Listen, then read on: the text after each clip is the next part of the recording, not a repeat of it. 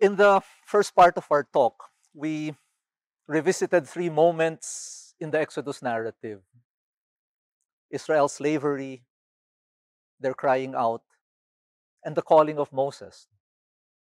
And we reflected on what these moments might mean for us as individuals and as a people.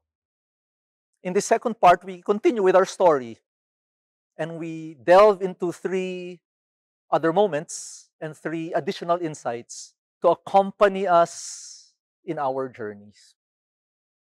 So, what happens in the story? Moses is called. And responding to the call after his fifth objection, he, he returns to Egypt. And what you have is an exchange between Moses and the Pharaoh. Moses tells the Pharaoh, The Lord says, Let my people go. The Pharaoh refuses, and you have a plague taking place. You have that pattern repeated for 10 times, no? Until after the 10th plague, the Egyptians and the Pharaoh finally let the Israelites go. So that's, that's where we are as far as the narrative goes. Finally, Israel marches out of Egypt and then ends up encamped by the sea. And then what happens? The text will tell us that the Egyptians changed their minds. They ask, What have we done that we let Israel leave our service? The Egyptians and the Pharaoh changed their minds. Is it only the Egyptians and the Pharaoh who changed their minds? No. Because the text will also tell us that the Israelites as well changed their minds. They turn to Moses and they tell Moses, What have you done to us? Bringing us out of Egypt. Is this not the very thing we told you in Egypt? Let us alone and let us serve the Egyptians. For it would have been better for us to remain in Egypt and to serve the Egyptians rather than die in the wilderness. So the Egyptians and Pharaoh changed their minds, the Israelites changed their minds, which begs an interesting question. Why did they miss one another? Why the longing for one another? You know, it might be easy to begin by answering that question from the perspective of Egypt. Why did Egypt miss Israel? Because they no longer had slaves. Because they no longer had people who would fill in their needs. I mean, Egypt is a limited world. They needed the Israelites to secure the satisfaction of their needs. A more difficult question, I think, is the question why did the Israelites miss Egypt? They had been slaves for the longest time. Now they had been freed. They marched out and were now encamped by the sea. And then they miss Egypt. And I think to answer that question, we will have to, in a sense, imagine ourselves in the scene. The Israelites are encamped. The Egyptians pursue them from behind. The Israelites look behind them, see the Egyptians. What do they feel? They're afraid. They look in front of them. They see the sea. They see the waters. What do they feel? They're afraid. They look behind them. They're afraid. They look in front of them. They're afraid. All around them, there's fear.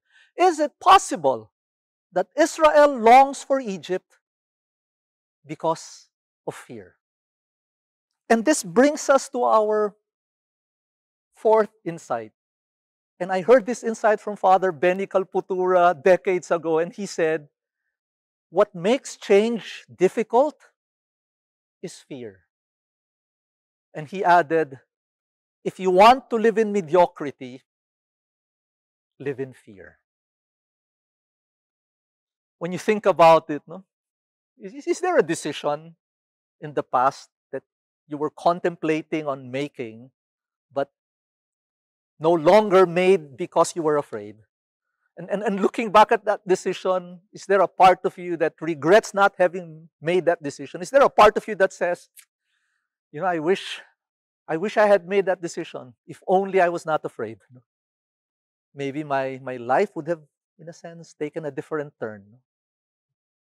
So fear. James Hollis, the psychoanalyst and author whom I mentioned in the first part, he would say, you know, fear governs much of our lives. standing up to our fear is perhaps the most critical decision necessary in the governance of life. I mean, reflecting on the pandemic, we're all afraid. We're all afraid. But I think people have different ways of standing up to the fear. James Hollis will say, you know, one of the most common ways fear can be in charge will be found in our flight from personal responsibility. What does one do when one is afraid? One blames others. One scapegoats. That's what the Israelites did. They turned to Moses and said, What have you done? Why did you bring us here? Didn't we tell you it would have been better for us to remain in Egypt as slaves? You reflect on what's happening in this pandemic, no? And you see so much scapegoating. There's always someone else to blame. It, it's so difficult to find leaders who will, in a sense, take responsibility and say, the buck stops with me. So when one is afraid, one lets go of responsibility. I mean, early on in the pandemic, I mean, we had people hoarding goods. We had people, some of them in positions of power, in a sense, exposing others to risk. No? And in contrast, you had other people placing their lives on the line to save other lives. It's the same fear, but people react to it in different ways. No? Can we stand up to our fears? No? And Hollis will also say the other byproduct of fear is lethargy, the lack of energy, the lack of enthusiasm. No? The lack of the will to move forward, to dream, to imagine. And again, we see that so evidently in our trying times. And, and sometimes there is the temptation to simply give in to the fear, to be immobilized by the fear. And I think this is what Moses sensed with the Israelites. That's why he turned to them and said, Fear not, stand firm. See the salvation of the Lord, which he will work for you today. For the Egyptians whom you see today, you will never see again. Moses uses the word see three times. And I think it was deliberate because you have to remember that what caused Israel's fear was what they looked at. What caused Israel's fear was what they saw. And Moses is telling them, do not look at the sources of your fear. Rather, revision. Change what you're looking at. Rather than look at your fear, look at what the Lord will do for you today. And I think that brings us to our fifth insight. No? And the insight is to lead involves helping oneself and others see things in a new light. Why is Moses considered the leader, prophet par excellence by the Israelites? Because he taught them to see themselves and to see reality in a new way. There's this lovely, lovely quote from Nelson Mandela, no? and he says, May your choices reflect your hopes, not your fears. May your choices reflect your hopes, not your fears. It's the same act of looking. But I can choose to look at my fears, or I can choose to look to my hopes. And Mandela is saying, look to your hopes. Again, I think about what's happening in our context.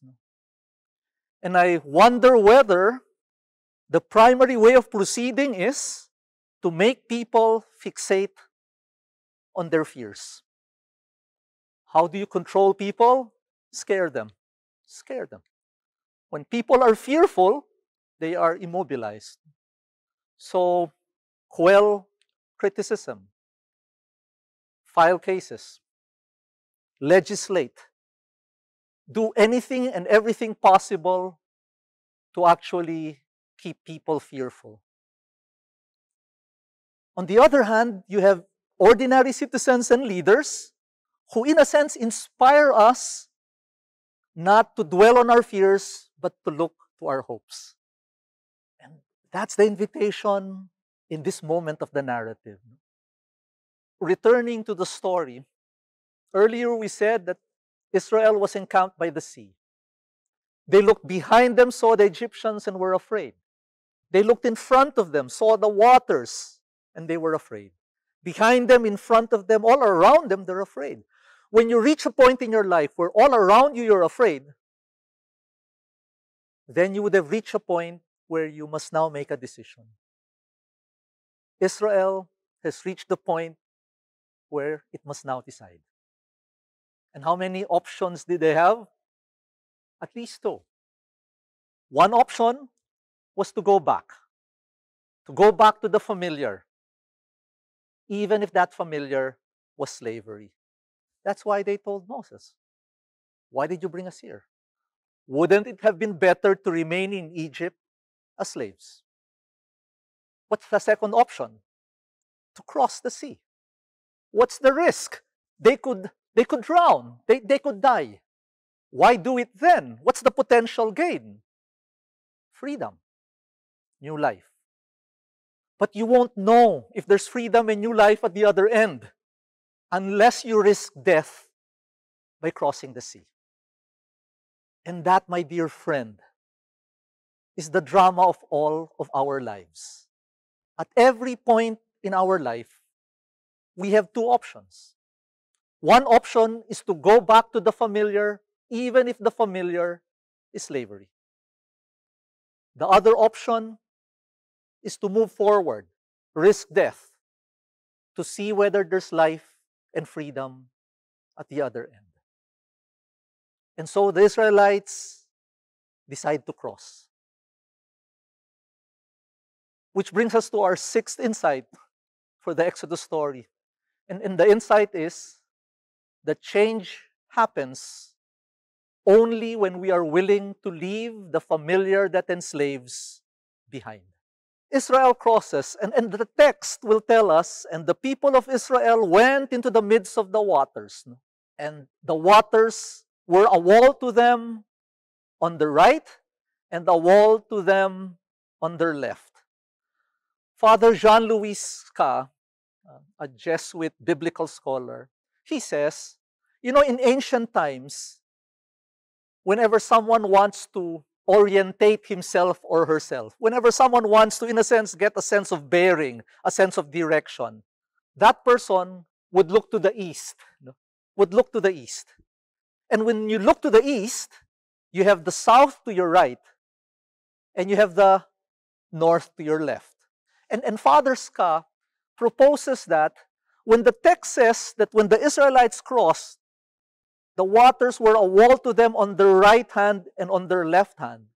He says, could it mean that as they crossed the sea, they had the south to the right and the north to their left?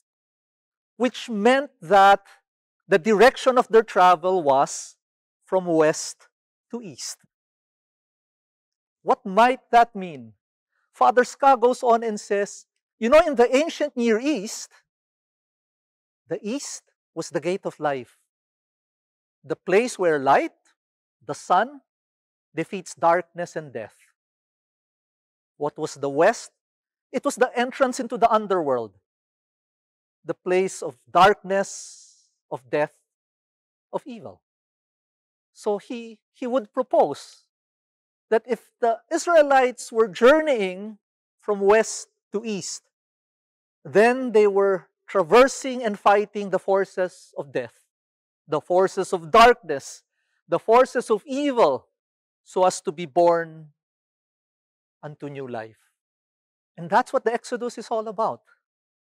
It's a journey from slavery to freedom, from darkness to light, from death to new life. And if that is what Exodus is all about, then as we said when we began this talk, Exodus is not just Israel's story. It is also the story of each and every one of us, journeying from slavery to freedom, darkness to light, death to new life. So what might this imply for us? Again, James Hollis, the psychoanalyst and author, um, he says, you know, growing up requires two practices. First, we must learn to take responsibility for ourselves and stop blaming others, our parents, our significant others, society, the malevolent gods. And then he says, a second invitation is for us to continually look within to gain greater awareness and understanding of, of who we are. Pope Francis, on the other hand, has this lovely, lovely quote, no? Uh, and, and, and he says, You know, human history, our history, the history of every one of us, it's, it's never finished. It never runs out of possibilities. Rather, it is always opening to the new, to what until now we had never even imagined, to, to, to what seemed impossible. I, I remember in one talk when we came to this quote, there was a 78 year old woman who raised her hand and said, You know, if that quote is true, then even at 78, I'm only just beginning. I'm only just beginning. There's this lovely, lovely quote from Meister Eckhart, no, who says, and suddenly you just know it's time to start something new and trust the magic of beginnings. That's what the Exodus was. And the invitation is to reflect on our own journeys and to hopefully reflect on what sea or what newness the Lord is inviting you to enter into and cross at this point in your life as, as we end this, this, this talk in the context of a pandemic, I think it might help us to remember that while this might be an end to something, it is also a beginning. And so I end with a quote from Arundhati Roy, who says, You know, historically, pandemics have forced humans to break with the past and imagine their world anew. This one is no different. It is a portal, a gateway between one world and the next. We can choose to walk through it, dragging the carcasses of our prejudice and hatred, our avarice, our data banks and dead ideas, our dead rivers and smoky skies behind us. Or we can walk through lightly with little luggage, ready to imagine another world and ready to fight for it journey gently, journey lightly, journey bravely, journey lovingly.